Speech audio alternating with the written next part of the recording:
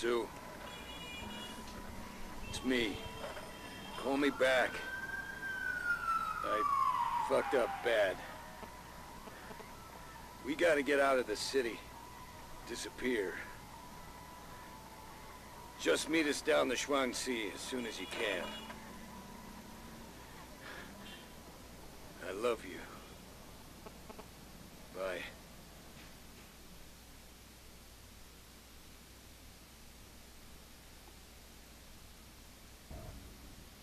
Beer. Beer brand beer. Beer brand beer. By Beer Co. Wife beaters and beer. And face palming. Oh Shit! What? What the fuck?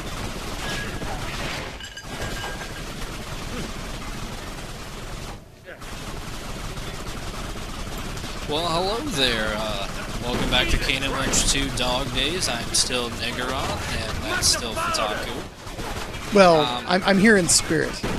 He is here as a ghost, uh, because I ended up having to play this level by myself due to a bit of an injury that uh, Futaku has sustained. I was uh, masturbating furiously, and, uh, well, you know, one thing led to another. Yeah, he uh, he was trying to figure out that riddle about the sound of one hand clapping, and he figured out the hard way that's uh, it's probably about abstinence or something. But yeah, this uh, we've already gotten in hot and heavy already in this level, uh, getting attacked by a new type of enemy here. The I think these guys are supposed to be SWAT team members.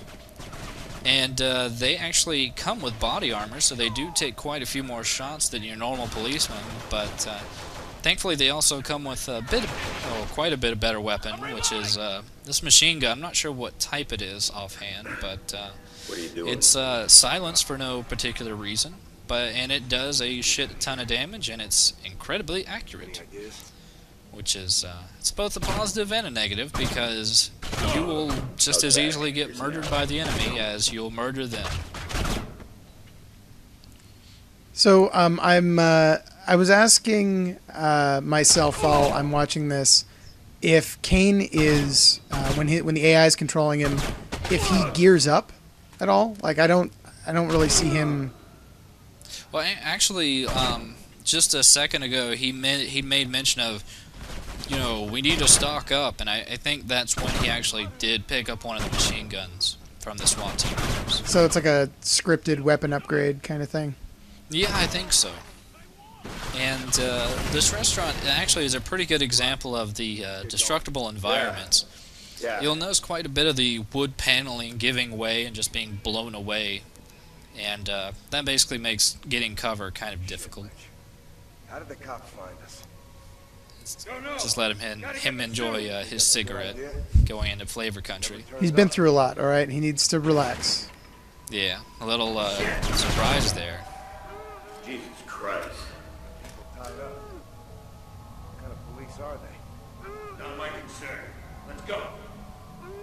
Know, I was, I was mildly thinking of shooting them, but figured I wouldn't be a dick. I mean, that one guy was probably gonna suffocate to death. He had a he had a bag on his head.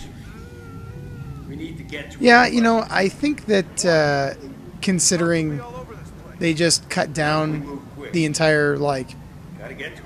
Chinese restaurant there, and then you go up, and then the guys in the kitchen are tied up. You're like, what kind of cops are these? They're terrible. It's like, well, they could have just killed all those guys. I suppose it's better than just straight up murdering them. Yeah, I mean, maybe the Chinese police code is a tad bit different. combing the area. Maybe all those guys were drug smugglers. They were actually under arrest. Yeah, I just noticed that there was clothes hanging up, like in the way far back in the corner above that stairwell, and I have no idea how you're supposed to get to those. Uh, magic stick. Like a stick with a hook, or like a Magic hook stick. Yeah, some switching around of the words. But you might have noticed a, a small little edit back there. I actually, uh, when I initially did this little area, I uh, kind of approached it the wrong way. I kind of went up top, and it just didn't leave for a good vantage point, and I just ended up getting sniped to death. He's lying. He's lying. This is all live, guys. This is live. It- no editing. It is. That's why I was doing that like back and forth. But yeah, now we're uh, now we're back to just facing normal policemen for no explicable reason. I think that's mostly so we can go back to having Yeah, the, yeah, the yeah, shittier police going. weapons. And uh, mine, mine cruiser, Mine cruiser. boosh. I wonder why they're hoarding uh, scooters. Uh, it might be like a scooter rental place. So I decided to let him live.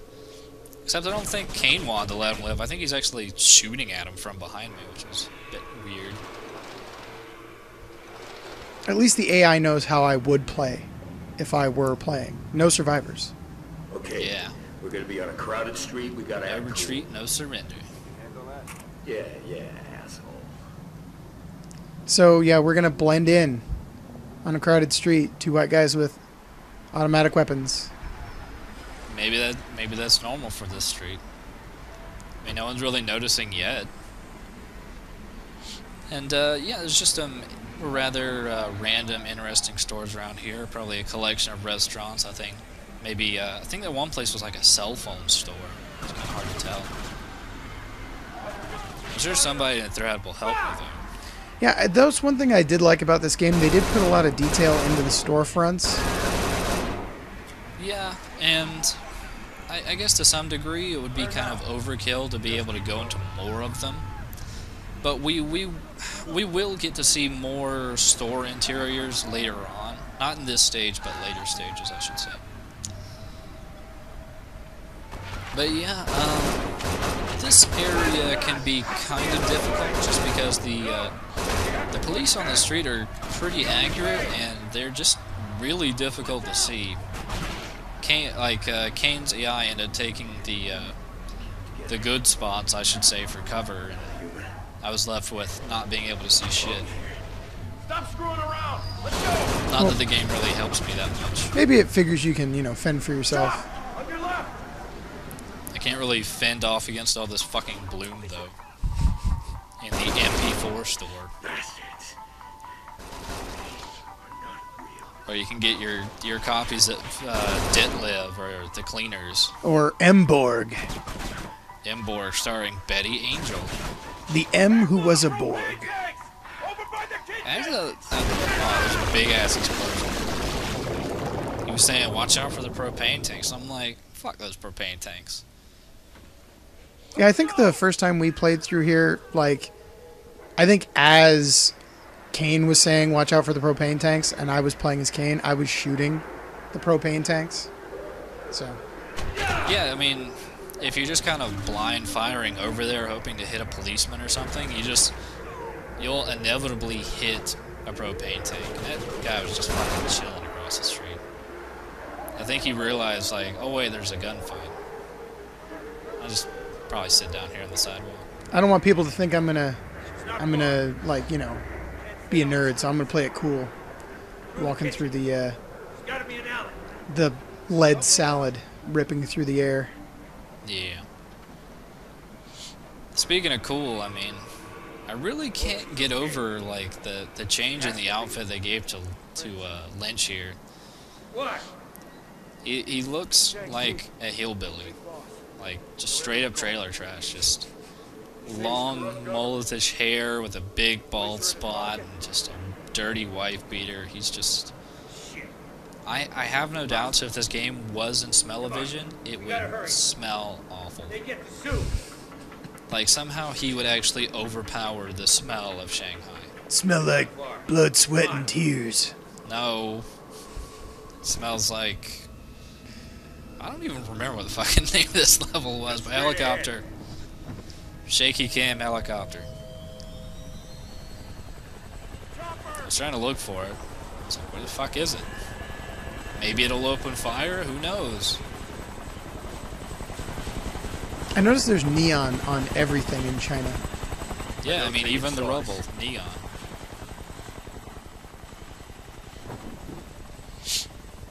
So yeah, we've uh, we've now got a return of these rather well armored and well armed uh, sniper or SWAT members. And lots of them.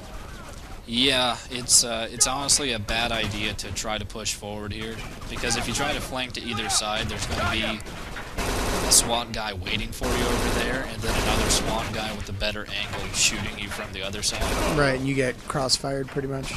Yeah, so it's better just to hang back and try to take a few random pot shots with the, got cover! Keep going! the police weapons, even though the AI decided to be balls out and just start pushing forward. Although AI knows that his other AI homies are going to take it easy on him. Yeah. Actually, I don't think the AI ever can actually die, so... I was actually wondering, like, why you weren't pushing forward a little bit here to grab one of those super rifles. Uh, that, that'll be evident in just a second here, after I finish getting a few random shots at this guy. I think Kane ends up, like, actually killing him here. Yeah, there he goes. Sounds like something happened to Kane. Did you hear that? He was like, "Ah, my toe. ah." But yeah, so this is why you don't actually want to push forward. Uh, it spawns about four or five SWAT guys, including a, a sniper guy. A sniper guy, I don't feel is very dangerous. I mean, he can kill you in about one or two shots, but thankfully, if uh, if you're helping AI or in, normally in my case, uh, Fataku, the the decoy, was to get his attention, it would really wouldn't be that much of an issue. Mm-hmm. Mm-hmm.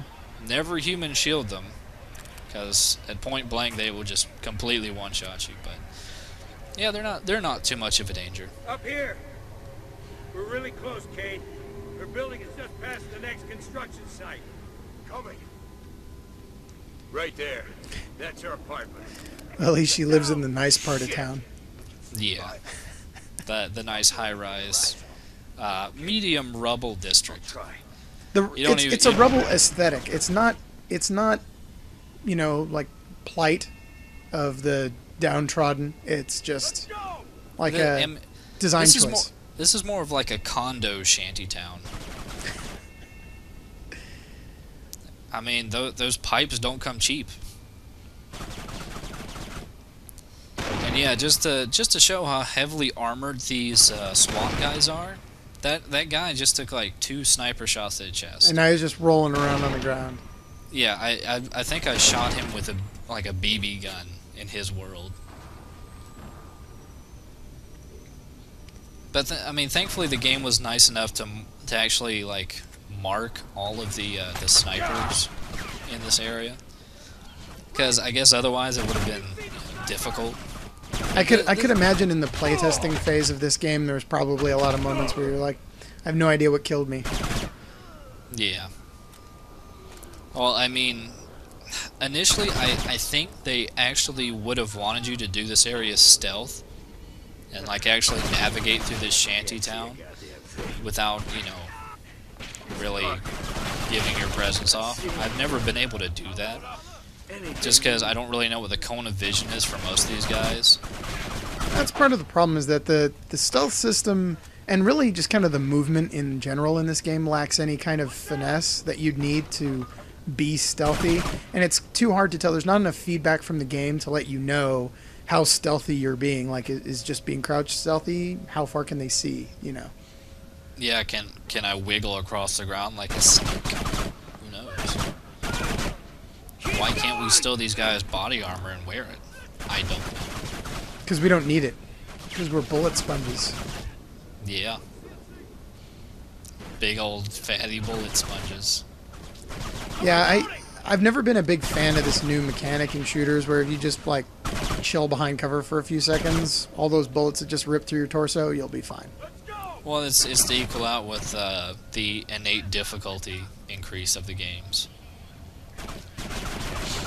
I mean, actually, if you if you weren't expecting this little shantytown fight right here, just a lot of these guys would easily, easily take you by surprise and just pretty much instantly kill you. Yeah, you just make it look so easy. Let's pro. And actually, this next area is another shining example of, you know, don't go down, don't go straight down the middle.